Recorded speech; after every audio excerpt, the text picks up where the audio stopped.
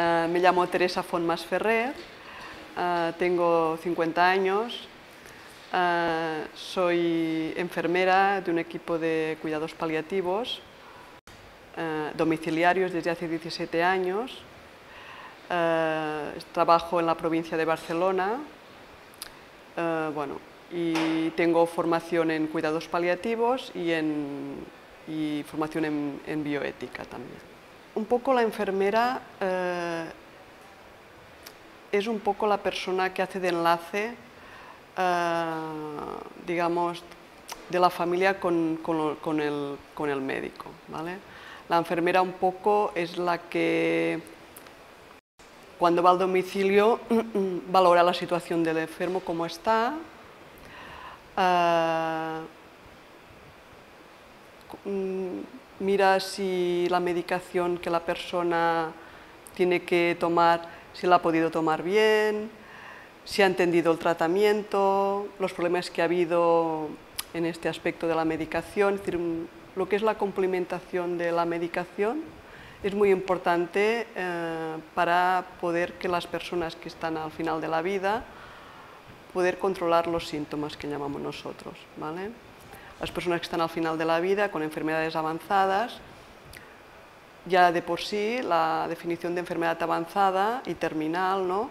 es una enfermedad progresiva que avanza con el tiempo, que tiene múltiples síntomas y que estos síntomas empeoran al acercarse más al final de la vida. Entonces, son, son, son personas que generalmente llevan unos 12 medicamentos de promedio de tratamiento.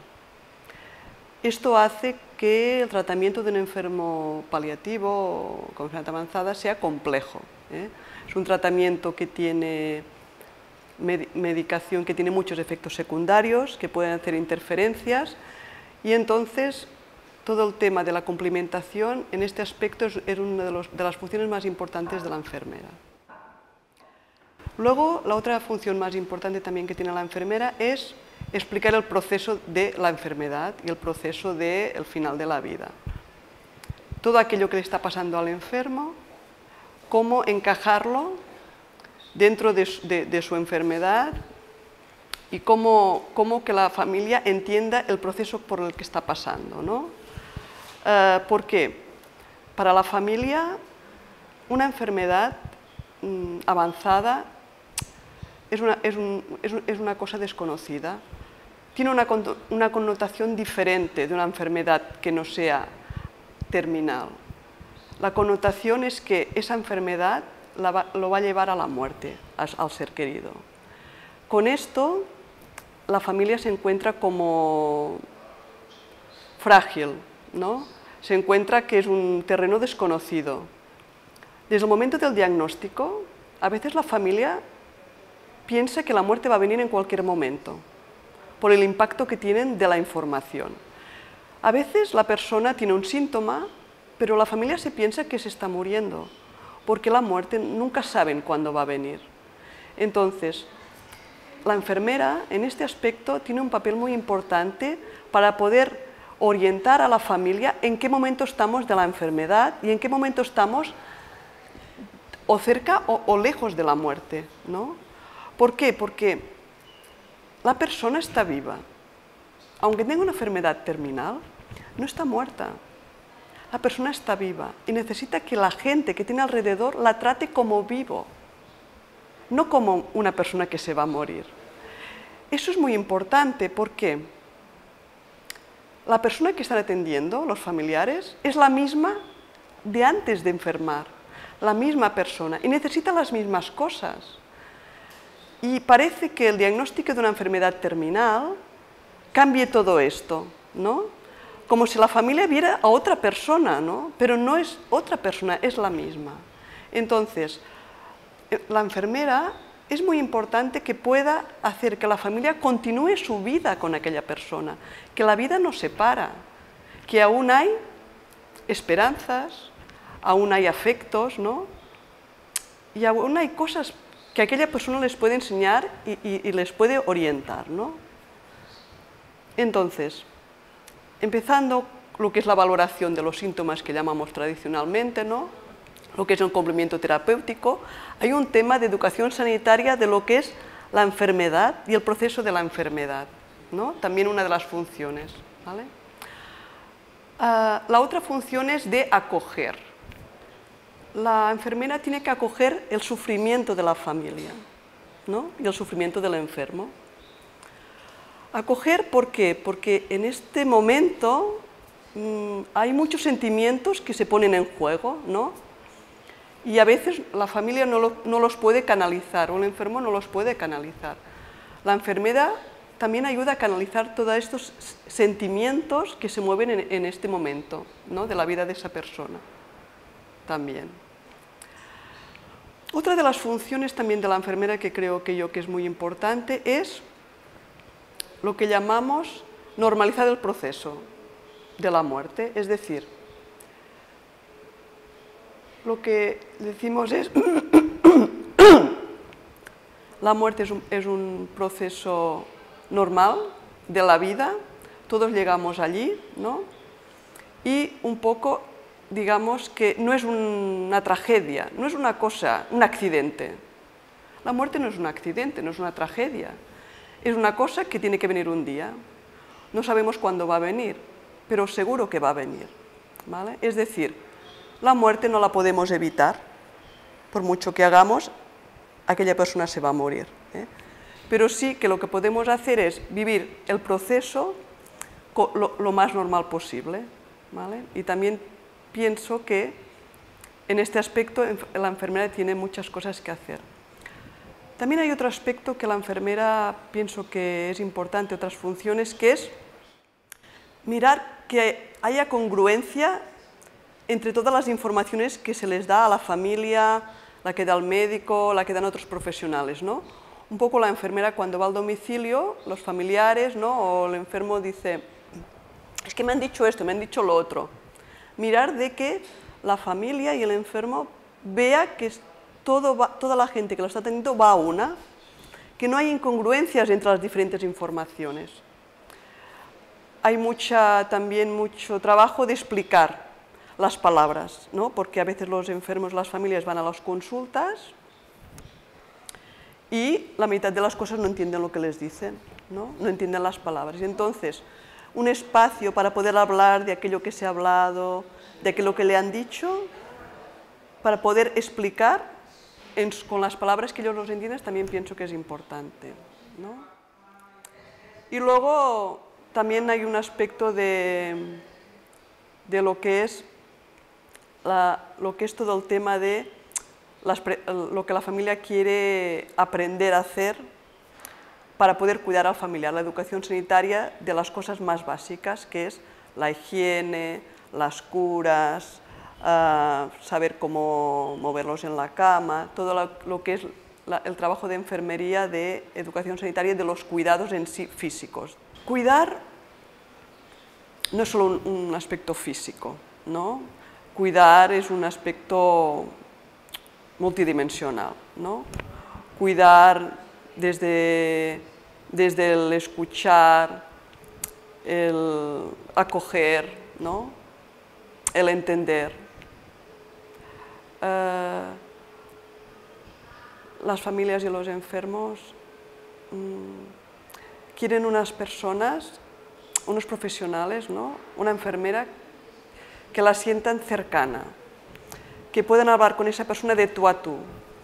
Mm, mi experiencia es que quieren personas que entiendan a personas, que la enfermera traspase a, a un nivel más personal. ¿no? Entonces, mmm, el cuidar creo que tiene una dimensión mucho más global. ¿no? y en ese aspecto creo que traspasa lo que es bien bien el cuidado físico de, lo que es la, ¿no? el, cuidado físico de lo que es la enfermera, ¿no? Lo que es el, contacto físico con el enfermo. ¿no? De las cosas que creo más importantes que, tienen que, pueden hacer las familias es tratar a la persona de la misma manera que la trataban antes. Es decir, mmm, aquella persona es la misma. No tratarla como un niño pequeño, no decidir por ella, eh, sino que aquella persona, tratarla como la persona que era antes. ¿eh? Es decir, igualmente está dentro del, círculo familiar, tiene el mismo rol que tenía antes, puede continuar haciendo las mismas cosas que hacía antes. La enfermedad te puede cambiar físicamente, pero mentalmente eres la misma persona. Entonces, eh, considerarla que es, la, que es, la, persona que puede continuar haciendo el mismo papel que hacía en la familia. Y, eh, sobre todo, mm, mirar de tratarla como una persona adulta, ¿no? como un niño en ese momento. ¿eh? La familia sufre por muchas cosas. Sufre por, por, la, persona, por la, la, persona que quieren, ¿no? porque la ven sufrir. ¿no? Y ellos lo, ven sufrir a aquella persona y ellos también sufren. ¿eh? La familia se les se juntan muchas cosas en el mismo momento, porque ellos también piensan en sí mismos. ¿Qué harán sin aquella persona cuando se vaya? ¿eh? ¿Cómo van a quedar ellos? Es decir, sufren por la persona y sufren por ellos. ¿vale? Entender eso es entender que pueden haber muchas reacciones uh, emocionales en juego. ¿eh? Entonces, uh, normalizar también todas las emociones que tiene la familia y las contraindicaciones que tiene la, las contra, contraindicaciones no, las uh, incongruencias que tiene la familia, ¿no?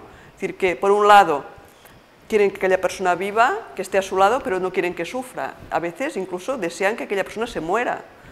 Y un poco la idea es que es normal que piensen eso, que es normal que quieran que se muera, porque en el fondo no quieren, no quieren que sufra más.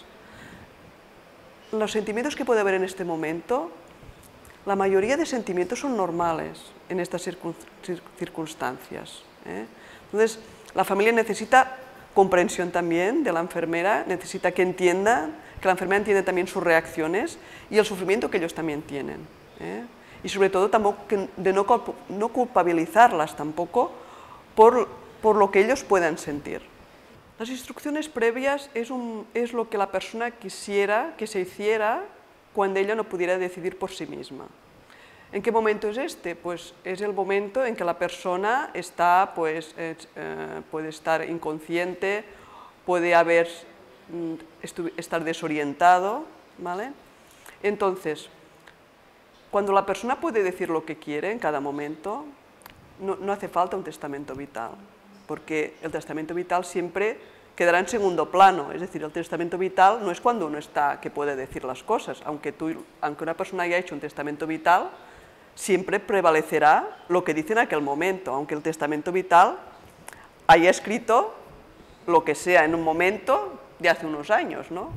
El testamento vital es lo que yo pienso que quiero ahora cuando llegue el final de mi vida. ¿vale? Entonces, es una manera, el testamento vital es una manera de descargar a la familia de tomar decisiones por el enfermo. Es decir, en el fondo, el enfermo no quiere ser una carga ¿vale? para la familia, quiere valerse por sí mismo. Y una manera de no ser una carga es hacer un testamento vital. Es decir, cuando llega el momento que yo no puedo decidir por mí misma, porque estoy inconsciente, porque estoy desorientado, que haya un sitio donde esté escrito lo que a mí me gustaría que se hiciera conmigo. ¿vale? Uh, entonces, el testamento vital puede ser que no esté escrito en ningún sitio. Puede ser verbal, ¿no? Es decir, puede la persona que está enferma decirle a la familia, a su marido, a su hijo, a quien sea, mira, yo, pues yo cuando esté inconsciente, ¿no? Por cualquier cosa, no quiero que se me alargue la vida. Quiero que se me trate las molestias, pero que no, me se, no se alargue la vida. Esto, a nivel verbal, se lo ha manifestado cuando la persona va al hospital o es atendida por un equipo sanitario en casa, ya es un testamento vital, ya, ya es válido. ¿Eh? Dice la familia, el marido, lo que sea, ¿no? el hijo, mira, ella nos dijo una vez que cuando, si un día estaba inconsciente, no querían que le alargara la vida. Ya vale esto.